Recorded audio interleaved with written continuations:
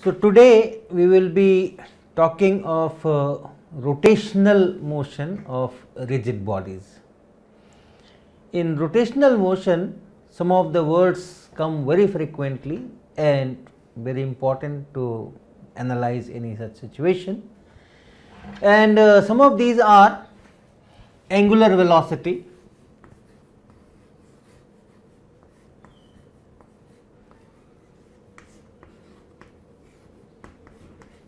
which we write as omega.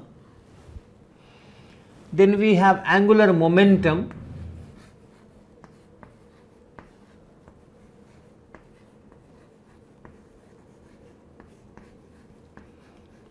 which we write as L. We have moment of inertia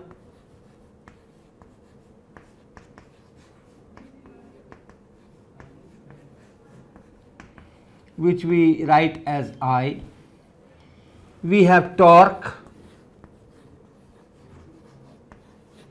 which we write as tau. You know all meanings of all these things, I believe so. So, angular velocity is uh, a vector quantity omega and if you have a rigid body which is rotating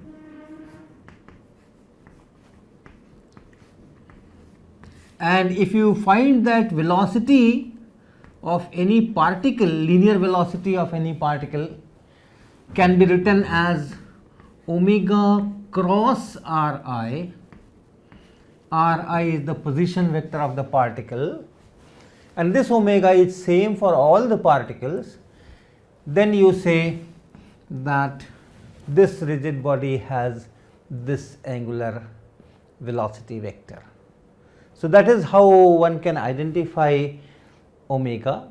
And if something is rotating about a, a, fixed axis of rotation or at any instant if you can find axis of rotation then it is very simple. You just uh, write the magnitude of angular velocity omega as d theta dt. And the direction is along the axis. If things are rotating anti-clockwise it is towards the viewer if it is clockwise opposite to the viewers. So, that is angular velocity omega. Then you also have angular acceleration with uh, this you can also define angular acceleration alpha which is d omega dt. So, this is angular acceleration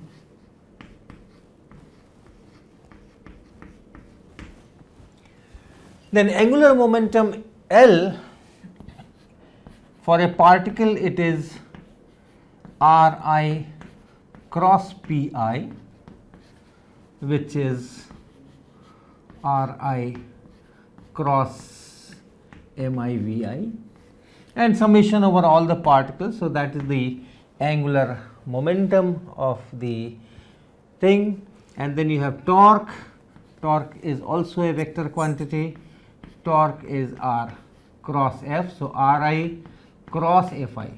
So, look at all the forces and we are talking of external forces only. So, look for all the forces and if that force acts on ith particle then uh, do this cross product R i cross Fi and then sum over all those i's.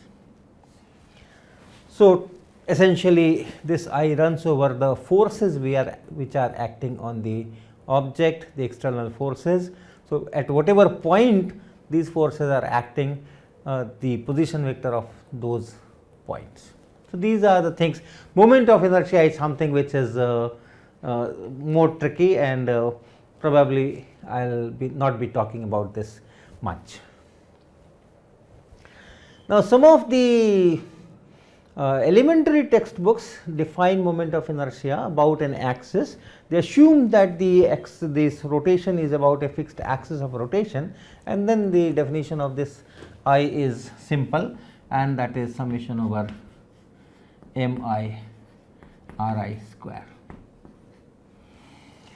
Then uh, you sometimes hear that uh, torque is equal to I alpha. So, equations like that or L is equal to I omega equations like that. Okay. But these equations are valid in certain situations only, not everywhere valid for uh, certain situations.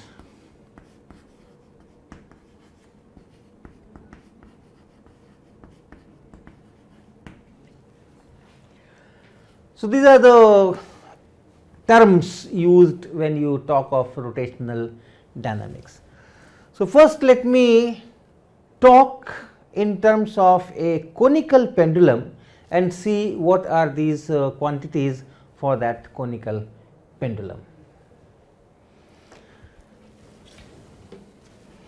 So, here is a, is a pendulum, here is a pendulum. If I just move this pendulum like this, it is a simple pendulum, but if I move it in a cone, this uh, thread goes in a cone, it becomes conical pendulum. So, I am rotating it as a conical pendulum. The ball is going in a horizontal circle.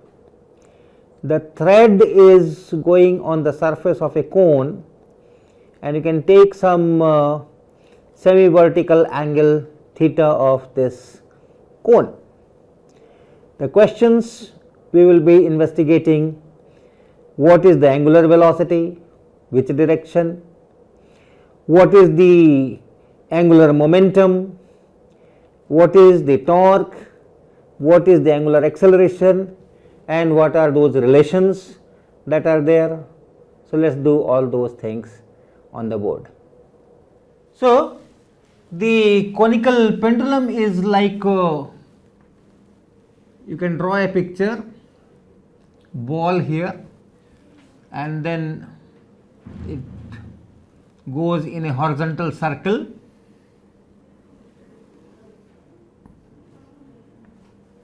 anti-clockwise as seen from above.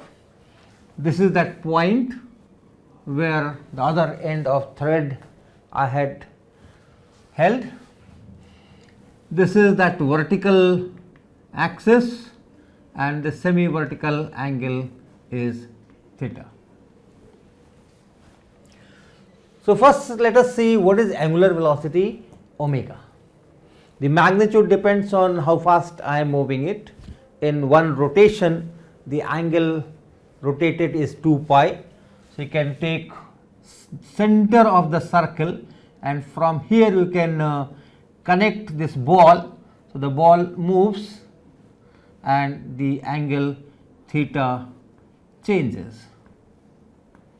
So, it is going like this in this circle. So, you can ask what is d theta dt or delta theta delta t that is the magnitude of omega and if uh, I am maintaining this rotation at a constant speed then at a constant rate then this omega is constant and its direction is along this axis of rotation and in our case it is vertically upward because the ball is going in anti-clockwise direction.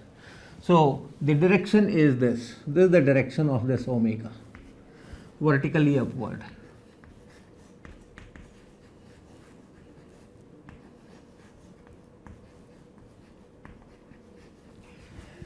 What is angular acceleration?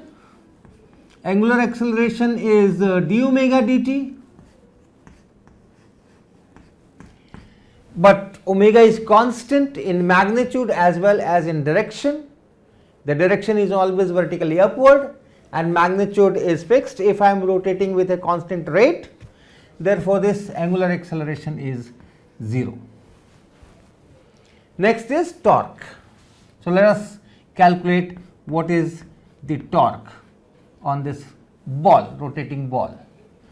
So, this is a point of suspension and I take my origin here.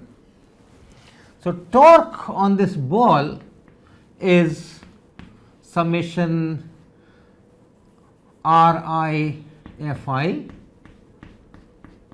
So, I have to look for all the forces and for each force I have to find this R i cross Fi and that torque I have to add vectorially to get the total torque.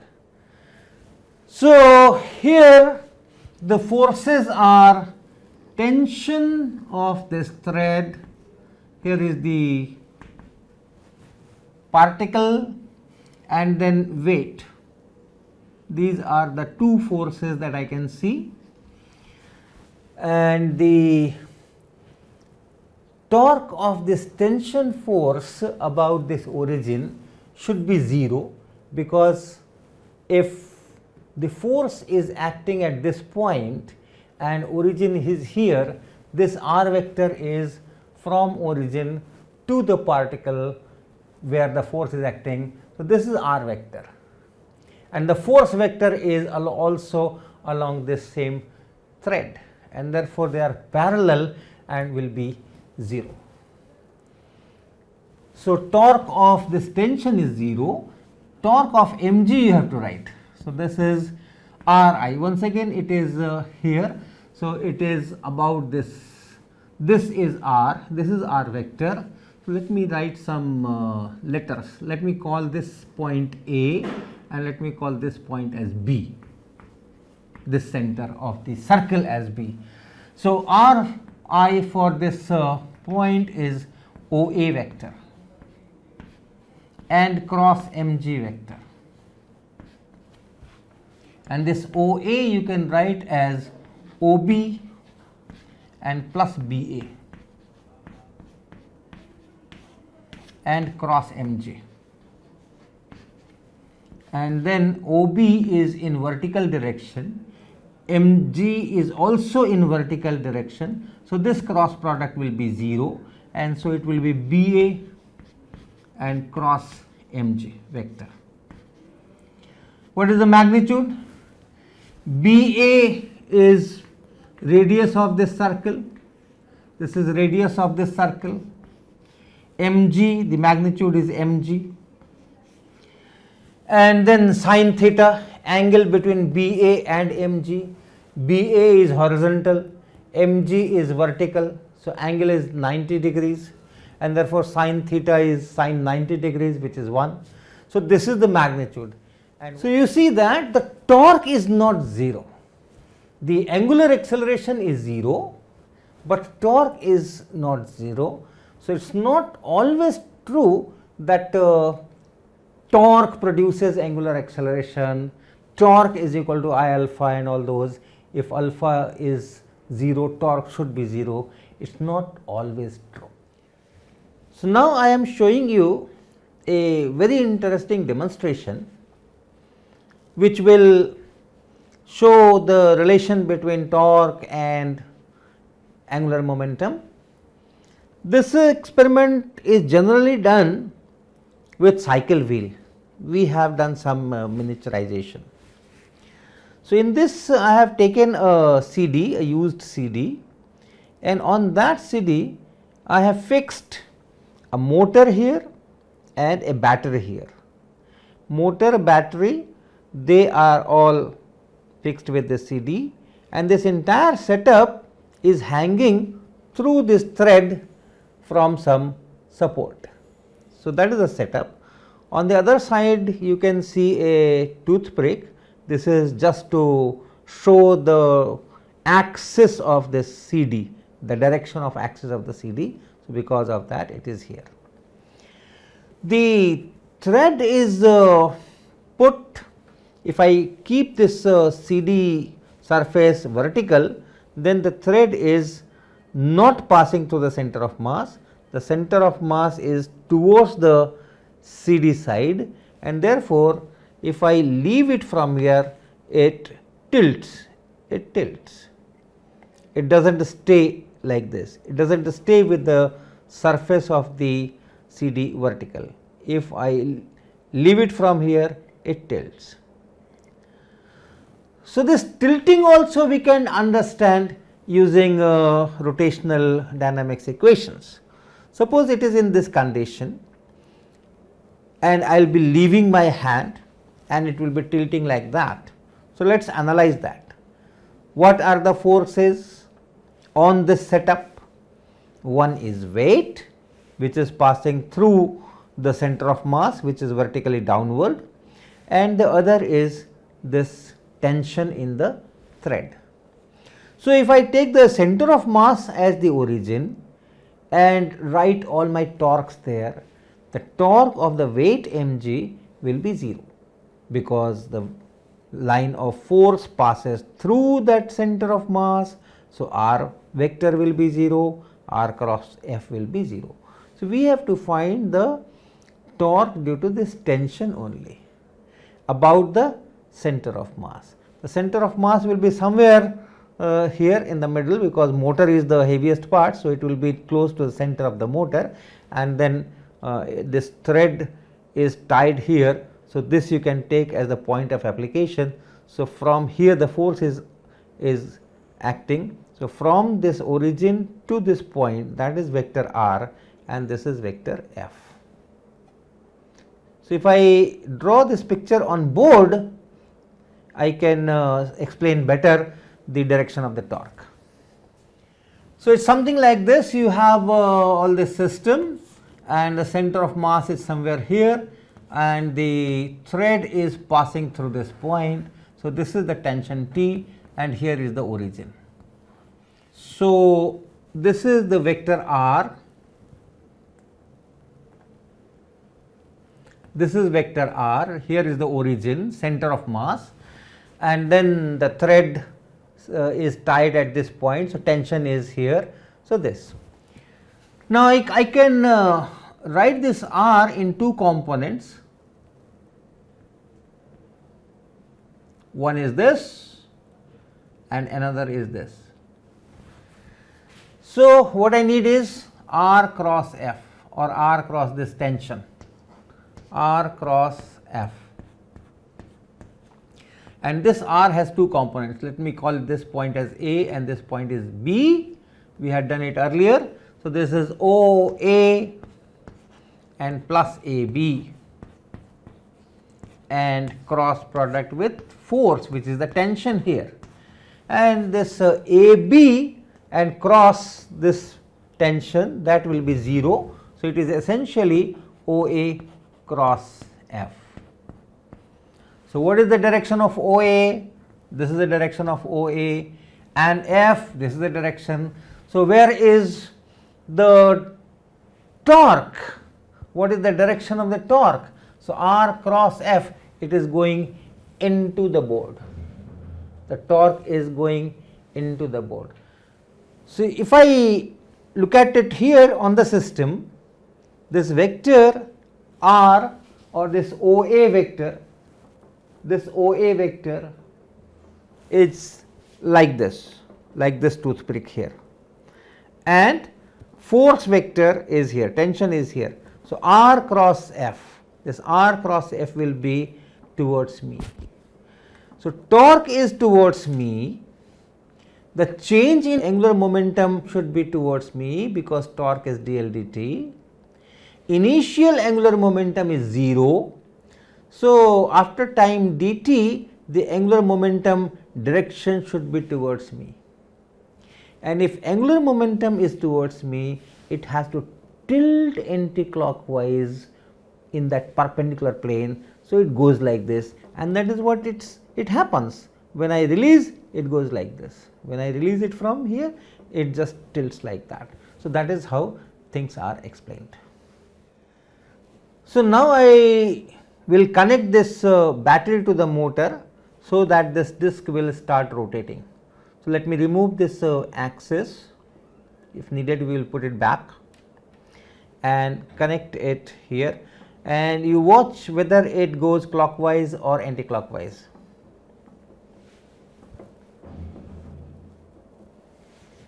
So, as seen my by me as seen by me it is going uh, clockwise and as seen by the camera it is going anti-clockwise. So, I am keeping the CD surface vertical and releasing it and see what happens. See the it is rotating about a vertical axis, but the CD surface is almost vertical, it is not tilting, it is almost vertical.